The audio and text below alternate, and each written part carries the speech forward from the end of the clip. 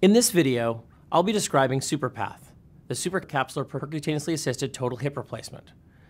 In 2004, a novel tissue-sparing surgical technique was first described by Dr. Stephen Murphy, and it utilized the interval by retracting the gluteus medius and minimus muscles anteriorly and piriformis muscles posteriorly to allow preparation of the femoral canal and implantation of the femoral stem through SuperCap, a superior capsulotomy incision.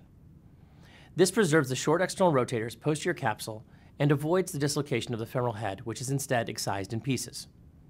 Also in 2004, a percutaneously assisted total hip known as PATH was described on the opposite coast of the country by Dr. Brad Penenberg, which allowed acetabulum preparation through one centimeter distally located incision without requiring release of the iliotibial band or short external rotators.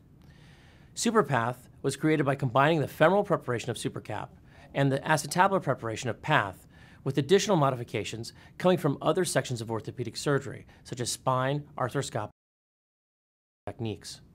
The instruments used are proprietary to this technique, particularly the cannula that creates a portal to facilitate acetabular preparation, and various instruments that accommodate in situ preparation of the femoral canal, which are described in detail in the following videos.